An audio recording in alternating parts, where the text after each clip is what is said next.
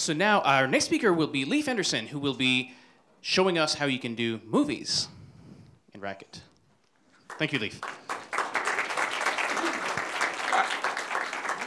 All right, thank you, Vincent.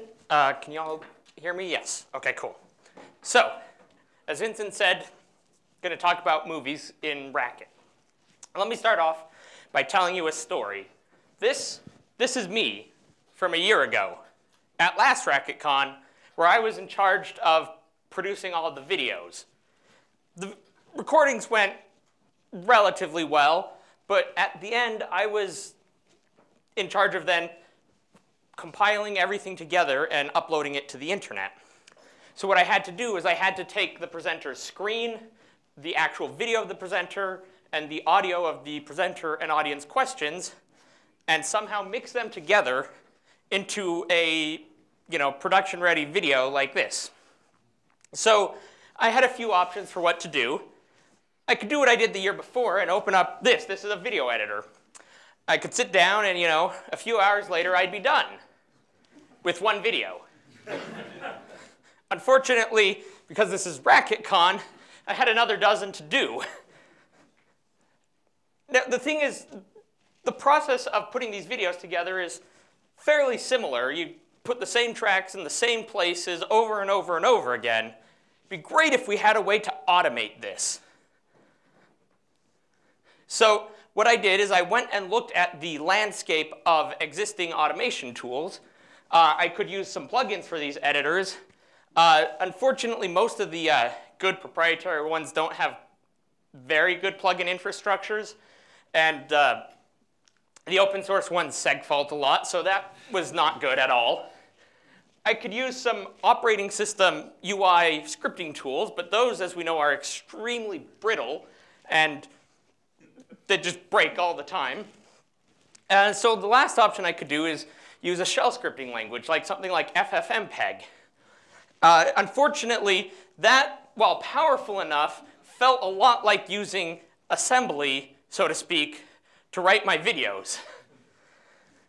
So I needed to take a step back and figure out what it is.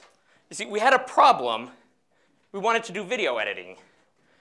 But what we really wanted to do was we wanted to solve video editing in the actual natural language that video editing is best solved in. So what works here is making a DSL. Now, Racket is actually a really great tool for doing this. Why?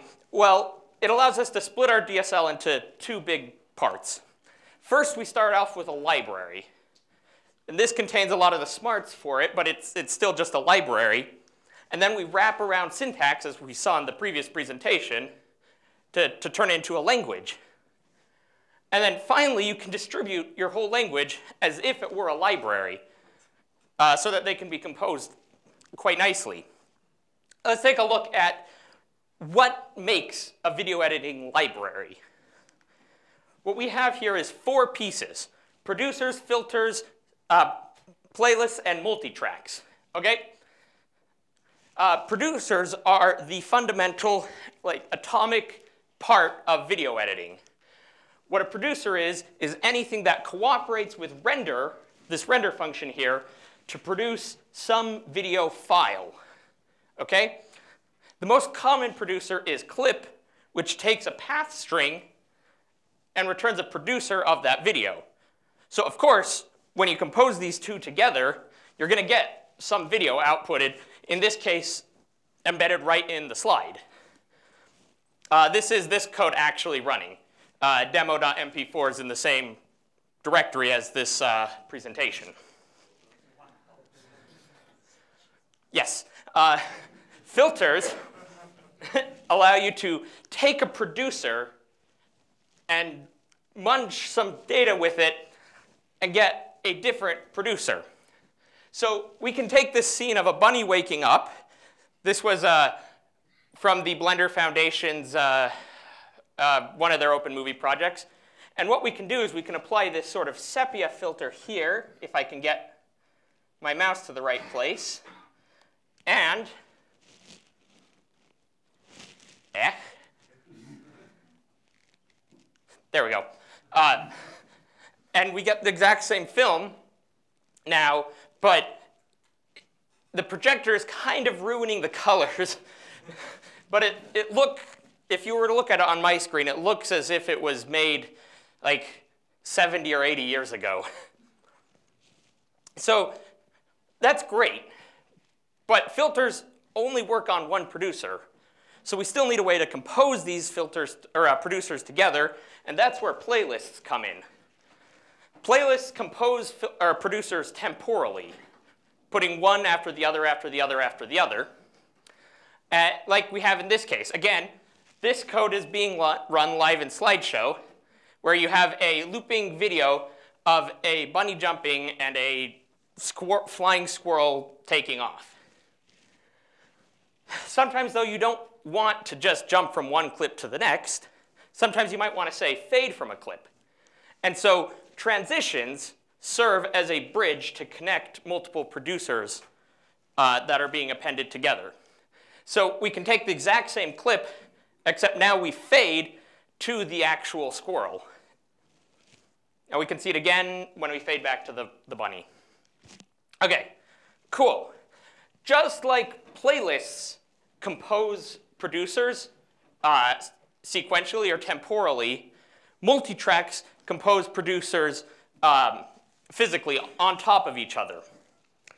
But because you can only really put one on a screen at a time, what you need is to use these merge concepts, uh, such as, say, compositing, to merge these two uh, producers together. Uh, and so in this case, what we've done is we have merged these two videos and played them side by side. Okay, so that's, that's the library, okay? But we still have to talk about the language, right? Like, this is where Racket uh, gives us a, a giant win. Uh, the first thing we see in our video language is, again, we see the producers. But what we really, what where it really starts to be cool is we see list comprehension. Uh, so we can just iterate over uh, just various videos. Uh, and you'll notice we have this call to external video right here. This external video jumps to another file, and you'll notice that we are calling, the, the video file is branded, and the function is branded. So we call out to the branded function, passing in the arguments we gave it. Uh, finally, you'll notice in this define video form right here, while it looks like just several expressions, that is implicitly a playlist um, that is turned into a producer for you. You're probably wondering, how does it know whether or not to use a function, though, uh, or the top level?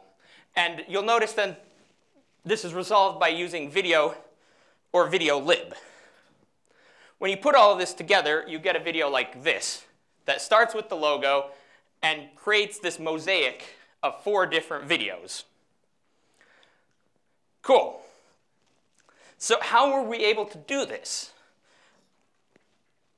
If you were looking at the timeline last year, it took me about as long to make this language and then edit all the videos as it did to edit the videos manually the year before.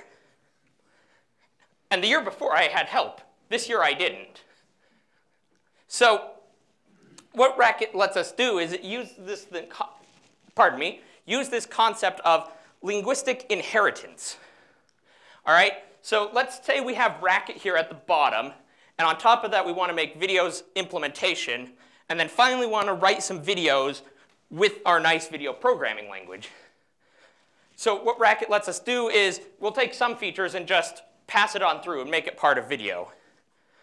We'll also remove some features that we don't want because it makes our video DSL more clunky. We'll add new features, such as the core library I talked about earlier. And here is where Racket finally shines, leaps and bounds among, uh, above so many other languages, it allows you to actually change linguistic constructs. Uh, what do I mean by that? Well, first of all, when you write hash lang racket, or whatever your hash lang is, hash lang video, hash lang Dan scheme, hash lang really cool embedded system language, right? Uh, the reader will go and put this uh, module begin in there for you. This module begin is language specific. It's what we call an interposition point. And then the expander will go and take this module begin and turn it into what you want uh, your, your DSL to be. And so in this case, it takes all of your expressions, collects them together, puts them in this vid begin, and provides the video. But you'll, you'll, notice again that the, these two module begins are different, one being implemented on top of the other. And so this is handled by this rename out right here. You see what we did is we did you know, define syntax, we did video module begin, interpreted it in terms of this uh, base module begin, and then renamed it out so it had the same name, but it was a different module begin. This technique actually was so very useful. Not only did we use it for video, we used it eight different times.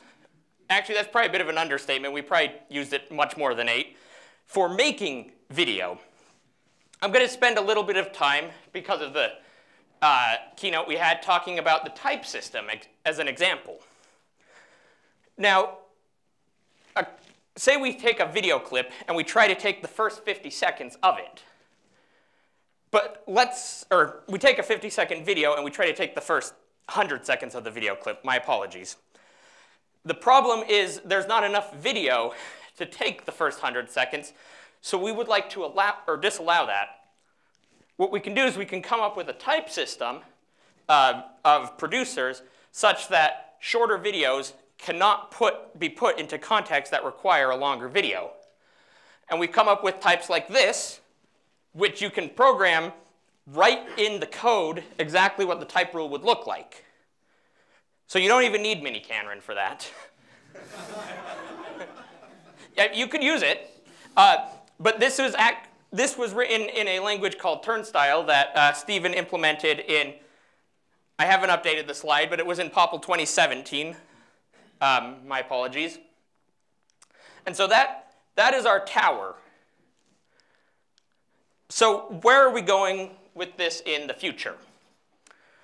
Well, let's say we have, our, we have a video editor, and what we can do, again, all of this is being done in the slides, is if I can drag my thing, the thing here, this is closer to a traditional video editor, and I would like to be able to edit this manually and do something like, say, click run, and have the video that we just edited play. In fact, I think we can go one step further than this. And, and what we can really have is we can have our video editor in our code and have that code contain video editors and go all the way down. Okay.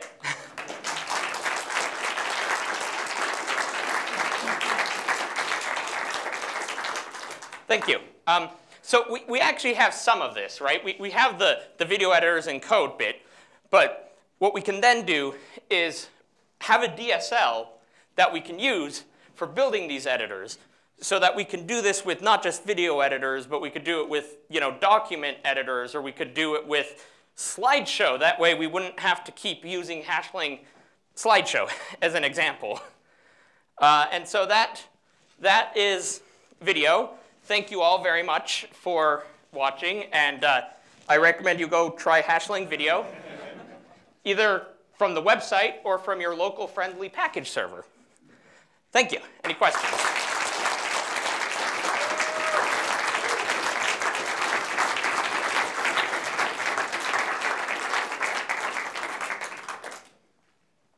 The question was, some clips are infinite in length, like an image, so the way this is handled is uh, the multi-track form understands that an image, or some producers are infinitely lengthed, and so the types there work out, and the multi-track is then responsible for cutting the image to the right length. Does, does that answer your question?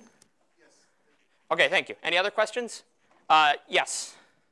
Uh, I can't, I can't tell. I see there is a hand over there. Uh, so I had a question. So you had a form called external video, and you gave it the path to a module. Why don't you just make the module export a thing and then require it, require that binding? Right? I was, I was confused ah, good, good question. Uh, the case for this is somewhat like Scribble, where you can use include section. What I want to do is have the video, I want to have the video module be an actual video as interpreted by render. So because they all provide the same name, vid, external video can be used, first of all, in an expression level, as if it was a dynamic require, and then second of all, it doesn't need to, uh, it takes care of the, the naming because everything is named vid. Does that make sense? Cool.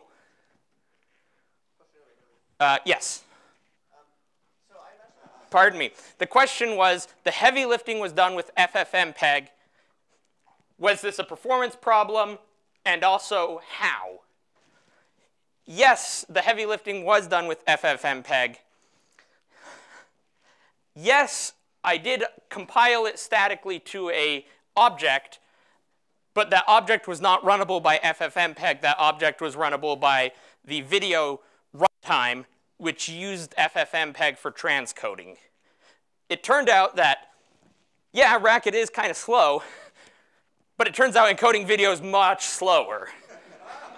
so no, there was not any performance problems because the bulk of it was, was in the, the encoding bit. And in fact, I ran a few benchmarks, and using video was about as fast as using FFmpeg from the command line, just because encoding is really slow.